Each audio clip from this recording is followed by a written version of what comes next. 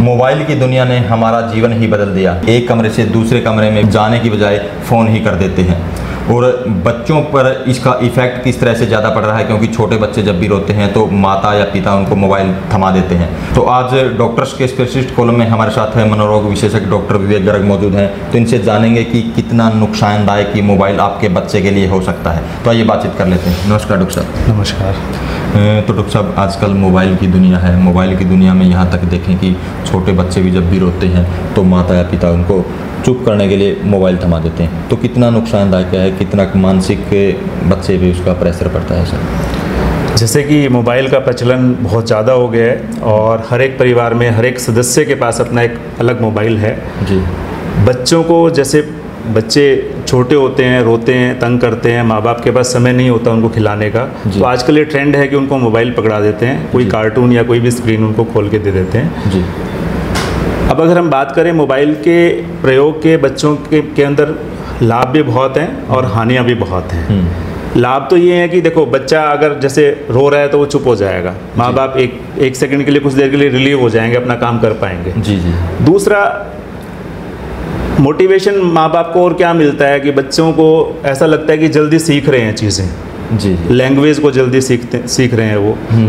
Cognitive skills सोचने की क्षमता उनमें ज़्यादा और बच्चों से जल्दी पैदा हो रही है। जी। उनको ऐसा लगता है हमारा बच्चा जल्दी स्मार्ट हो रहा है। जी। और बच्चों के मुकाबले में। जी। कई बार सुना भी होगा कि माँ बाप कहते हैं कि देखो अभी तो दो, दो साल का ये और ये यूट्यूब सॉन्ग सब चला लेते हैं। हाँ अब वो सारी लर्निंग जल्दी हो रही है उसके अंदर। जी। ये फ़ायदे भी हैं कुछ। जी, जी। लेकिन इन फ़ायदों की वजह से बहुत सारे नुकसान होते हैं। जी। एक तो माँ बाप को ऐसा लगता है कि हमारा बच्चा जल्दी सीख रहा है तो वो और ज़्यादा उसको मोबाइल पकड़ाता है। जी। खाना खाते हुए बच्चे मोबाइल ज़्यादा यूज़ करते हैं। जी। और दूसरा जो इस तरह की फीलिंग्स होती हैं वो बच्चे के अंदर डोपामिन रिलीज़ करती है उसके ब्रेन के अंदर। जी। जो उसको अच्छा फील करवाती है कार्टून्स देखना उसकी तरह की चीज़ें देखना तो वो उनको रोल मॉडल समझना शुरू कर देता है। जी। जिससे कि उसके ऊपर वो डिपेंड हो जाता है। आपने देखा होगा कि कुछ बच्चे खाना ही नहीं खाते जब तक मोबाइल उनके सामने ना रखा जाए। जी। मोबाइल सामने रखेंगे और फिर वो खाना खाते रहेंगे उनको ये भी नहीं पता कि मैंने एक रोटी खाई है दो रोटी खाई है क्या सब्ज़ी बनी है क्या नहीं बनी है। जी। तो इस तरह के अडिक्ट हो जाते हैं मोबाइल के। ओवर द टाइम ज़्यादा यूज़ करने की वजह से एडिक्शन उनके अंदर आती है वो डोपामिन रिलीज़ होने की वजह से आती है ब्रेन के अंदर। एडिक्शन होने के बाद जैसे बड़ों के अंदर और एडिक्शंस होती हैं और नशे होते हैं ऐसे ही मोबाइल का नशा बच्चों में होना शुरू हो जाता है और उसके बैड इफ़ेक्ट्स आने शुरू हो जाते हैं। जी। बैड इफ़ेक्ट्स की बात करें तो जैसे जैसे बच्चा बड़ा होगा चिड़चिड़ा होना शुरू हो जाएगा। अब उसको मोबाइल ही चाहिए हर चीज़ के लिए। हम्म हम्म। अपनी हर एक डिमांड को पूरा करने के लिए उसको कहेगा कि मोबाइल चाहिए मेरे मोबाइल पहले। चिड़चिड़ा होना शुरू हो जाएगा सोशलाइज नहीं होगा और लोगों से और बच्चों से संपर्क नहीं रख पाएगा। फिजिकली एक्टिविटी कम हो जाएँगे उसकी जिसकी वजह से उसकी ग्रोथ स्लो हो जाती है। फ़िज़िकल ग्रोथ शारीरिक ग्रोथ स्लो हो जाती है। मानसिक तौर पर बात करें तो हेडेक रहना शुरू हो जाएगा सिर दर्द रहना शुरू हो जाएगा और बच्चा धीरे धीरे डिप्रेशन का शिकार हो जाता है। जी।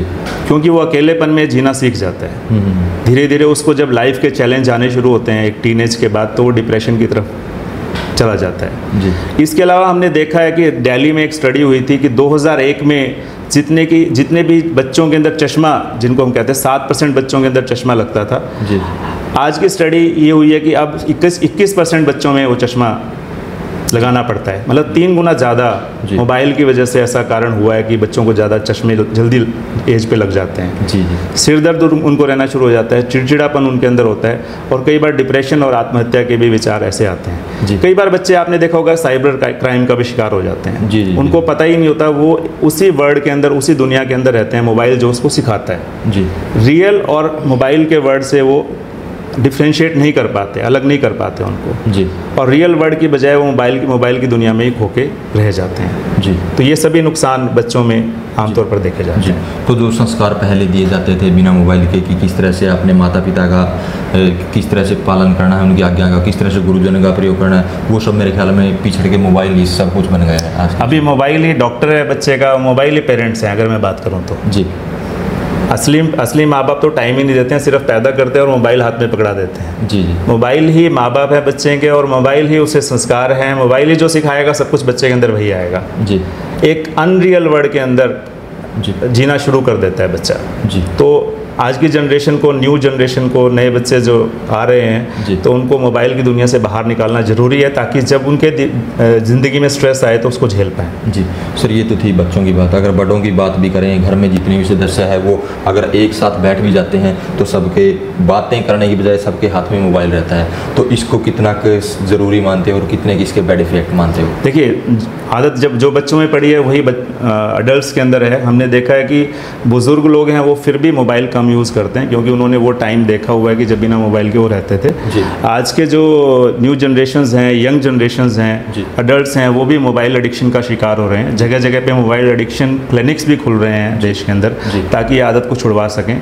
और तो आपके पास अगर बात करें किस तरह के जैसे एज ए मनोरोग विशेषज्ञ आप किस तरह के मतलब इस तरह के पेशेंट भी आते होंगे जो इस तरह का देखो आमतौर पर ये शिकायत लेके तो नहीं आते हैं कि मोबाइल एडिक्शन है, लेकिन अगर डीप में स्टडी करें, डिप्रेशन से वो लोग आते हैं, हेडेक या डिप्रेशन से, और ज़्यादा डिटेल में उनसे बात करें तो बहुत सारे लोगों में मोबाइल ये कारण होता है। जी। मोबाइल की वजह से उनको हेडेक रहता है देर रात तक वो मोबाइल देखते हैं। मोबाइल की वजह से वो सोशलाइज नहीं होते सामाजिक संपर्क नहीं बनाते और उसी की वजह से वो डिप्रेशन का शिकार होते हैं। जी। तो डिटेल में अगर हमसे बात करते हैं तो बहुत सारी परसेंटेज ऐसी है जो मोबाइल की वजह से इन रोगों का शिकार होती है। जी। तो सर एज ए मनोरोग विशेषज्ञ क्या कुछ सलाह आप देना चाहोगे? एज ए पेरेंट्स भी अगर बात करें पेरेंट्स को भी बच्चों के लिए भी और जो एल्डर हैं उनके लिए? भी? बच्चों के लिए तो मैं बताना चाहूँगा खासकर पेरेंट्स को आ, कुछ हिदायतें कि बच्चों बच्चे मैंने बताया जैसे कि फ़ायदा भी है मोबाइल देखने का बच्चों को।